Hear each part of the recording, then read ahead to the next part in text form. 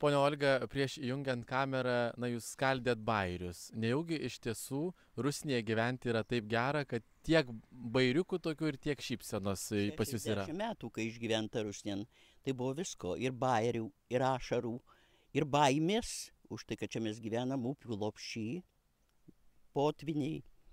Tai buvo visko ir iki šiol ta baimė nedingo, žinokit, vandens baimė. Papasakosiu pirmus metus, kaip mes čia atsikėlėm, kaip gyvenom. Tadagi dar nebuvo potvinių. E, Vaikai, kaip aš čia dabar sakau, ne potvinių nebuvo, bet e, pilimų nebuvo. Tai čia ateidavo vanduo į, į kiemus tiesiog. Ir atsimenu pirmus metus, kai vyras mane čia parsivežė, jis irgi dzūkas žinoma, bet jau jis čia gyveno. Kai jis parsivežė mane šį čia, sėdžiu aš ant lovos, jis išvažiavo išplaukė į žvejybą, o aš savo sėdžiu ant lovos, klausau kažkas brubliuoja po kojom, bur, bur, bur, bur, bur, bur.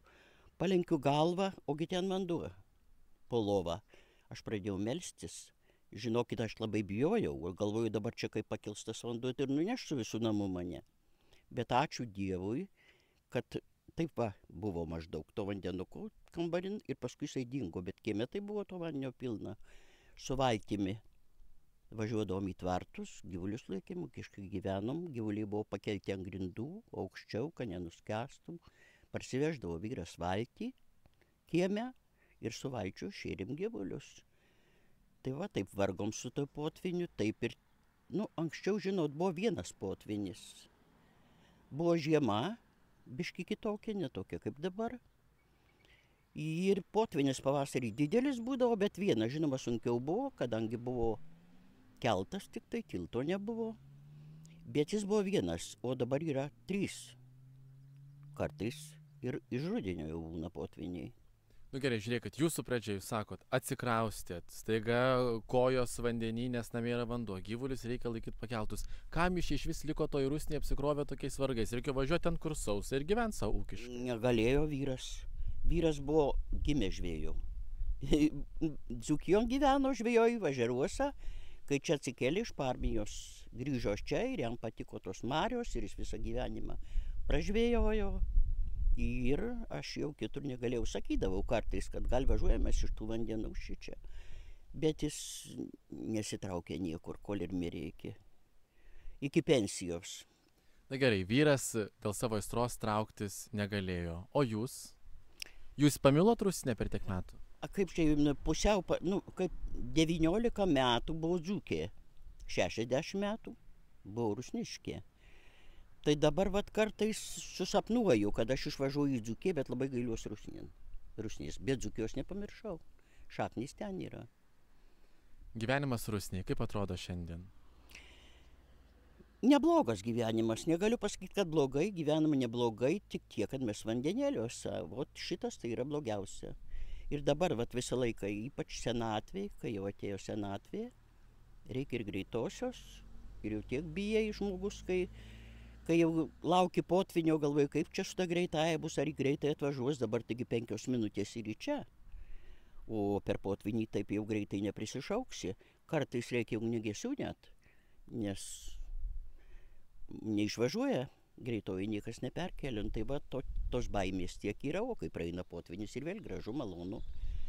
Ir vėl gyvenam rusnien, nu ką dabar. taip iš tiesų daug problemų kai čia vyksta potvynis ir apsemiamas kelio ruožas ir dėl to na negali normaliai vykti susisiekimas. Bet jūs turbūt žinot kad ministras pirmininkas buvo atvažiavęs balandžio pabaigoj ir pažadėjo čia iki kitų metų pabaigos pastatyt estakadą ir greitoji jau galės pas jus greitai atvažiuot. Jūs tikite tuo? I- Aš tikiu, tikiu, tikrai tikiu, nes žmogus pažadėjo, pati girdėjau, buvo filmukas, va, seniūnėm filmuką padarė. Ir jis pažadėjo ir jo padažai, pa- pažadais tikrai tikiu. Bet nedaug dievė, jeigu jisai pažadų nepildys, nedaug dievė. Nu tada jau bus vėl blogai, nu ką dabar padarysi, nu visaipgi būna. Kita kartą dabar tai va bijau, sakau, kad visur pinigėlių reikia ir tam kalnui remontui ir viską galvoju, o galgi persigalvos, gal nepadarys ten tos estakados. Nu tai, tai žinot kaip. Laukiam visi, gal aš jos ir nesulauksiu, jau man 80, bet yra vaikai, yra, yra kiti žmonės, yra vis tiek gyvena žmonės, gimdo. auga žmonės, nors nelabai užsibūna rusniai dėl tų vandenų daugiausia. Gali, gali ir būti ir, ir versliukų tokių gal daugiau, ir visko, nu susisiekimo nėra, nu. Tas yra blogiausia. E, pone Olga, kaip keisis Rusnės gyvenimas, jeigu iš tiesų valdžia pažadės, ištiesės savo pažadą ir pastatys estakadą? Labai daug kuo keisis. Tikrai žmonės neišvažiuos iš Rusnės, anksčiaugi buvo šitie daug gyventojų. O dabar, ką, pusantro tūkstančio tik tai yra. Žmonės nenori mirkti vandenuose. Tiesiog nenori. Ir išvažiuoja, išeina iš čia statosi, statosi kitur. Aš manau, kad jeigu kelias bus, ir dar ir baimė yra. Nes, pavyzdžiui, jeigu užsidėktų žalgirių miškas ir vėjas iš ten, ir mes uždustum, čia mūsų, vandų mūsų niekas, per kur mes išvažiuotumėm nu gerai tiltas yra, bet kol čia perkelka tu kažką, kol tai, tai aš nežinau, kaip būtų. Mes nesuvokiam, kaip mes čia.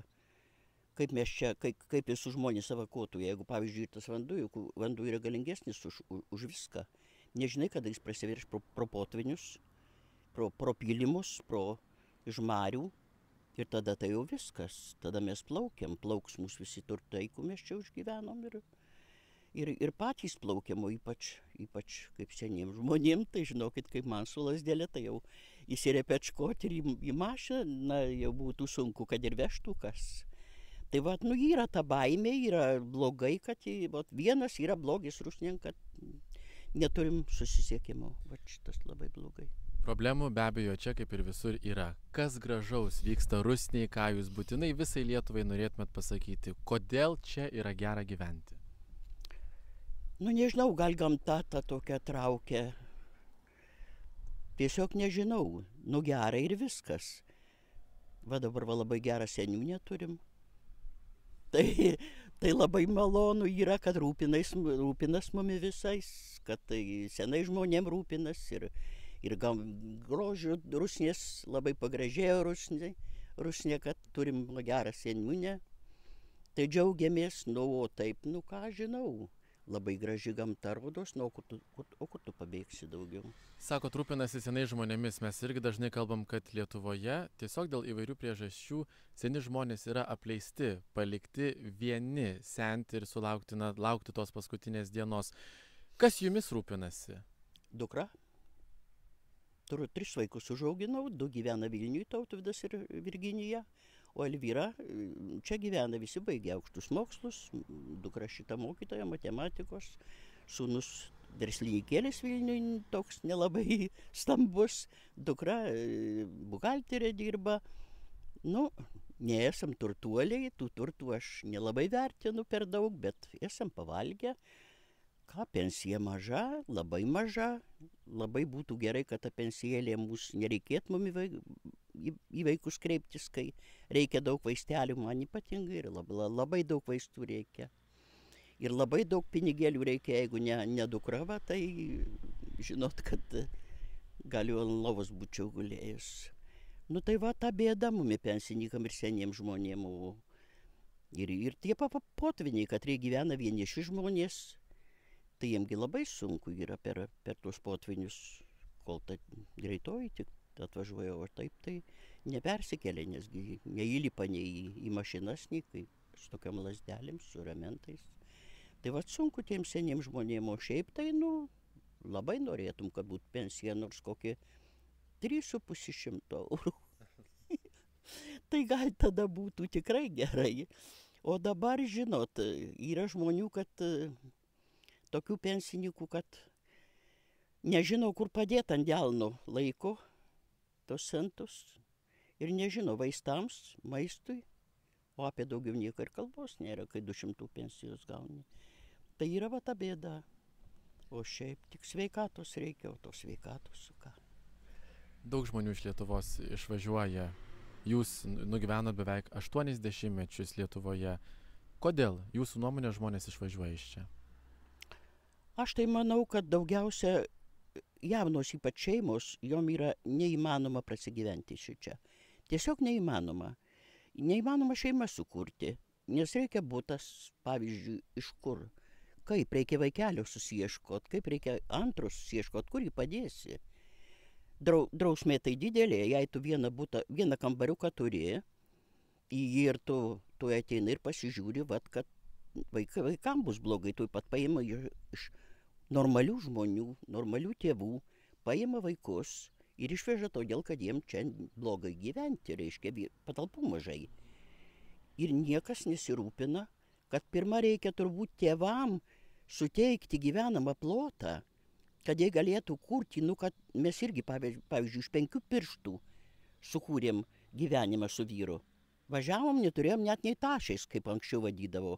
Pasėmėm maišą, važiavom į Šilutį, nusipirkom keptuvę, puodą ir pradėjom gyventi. Nu, o, o dabar kaip dabar, kur tiem jaunim žmonėm dėtis, kiem reikia susikurti gyvenimus savo, todėl ir lekia iš Lietuvos. Baigim kažkaip pozityviai. Ko Lietuvai palinkėtumėt e, artėjant valstybės šimtmečiui? Gal, gal kad, kad daug sugrįžtų žmonių iš užsienio šičia gyventi, jaunų, kad ta Lietuva mūsų neištuštėtų, nes jeigu Lietuva ištuštės, tai bijau, kad iš viso iš viso gali būt blogai su Lietuva, nes kuo toliau, tuo daugiau išvažiuoja. Tai va daugiausiai tai palinkėčiau, kad žmonės galėtų Lietuvoje įsikurti ir gyventi ir laimingi būti su, kaip nu, tas šimtmetį žinoma, labai malonu, kad, kad ir seni va žmonės kiti sulaukė to šimtmečio ir, ir jau dabar galbūt ir geriau būtų ir, ir, ir tų prekių visokių yra nusipirkt gali ir pasirinkt gali ir, ir viskas, nu, ot viena bėda yra, kad žmonėms sunku įsikurti ir atlyginimai labai maži jauniem žmonėm, tie minimumai, nu ką iš jų, nieko gero. Pradėti gyventi žmogus sunku, reikia vaikus saugyti, reikia, jie daug kainuoja, vaikeliai tai išaugyti gerai žmonėm, išauklėti vaikus. Tai va, vienas tas trūkumas, o daugiau, nu, o ką daugiau? Mes taip pripratę gyvent vargt aš e, karą pernešiau. Man buvo gal šeši septyni metai kokie kai buvo karas. Ir labai pokario laiko laikotarpis buvo sunkus tai man atrodo kad dabar jau gerai nes nes baisiai buvo sunkus gyvenimas po karo visko matėm parėjom buvom evakuoti parėjom, radom tris iš viso kaimo trobas. Taip kad visas kaimas, aš dabar, kai gyvena kaimynai ir jie pykstasi, tai žinokit, aš nesuvokiu ko. Juk jie turi kiekvienas atskirą kiemą beveik, nu, nebent laiptinė, bet vis tiek atskirą būtą turi. O mes, va, šeši žmonės, še, šešios šeimos mūsų, pavyzdžiui, buvo namas likęs, nesudegęs, tai šešios šeimos gyveno vienam kambary. Ir niekada nesipyko.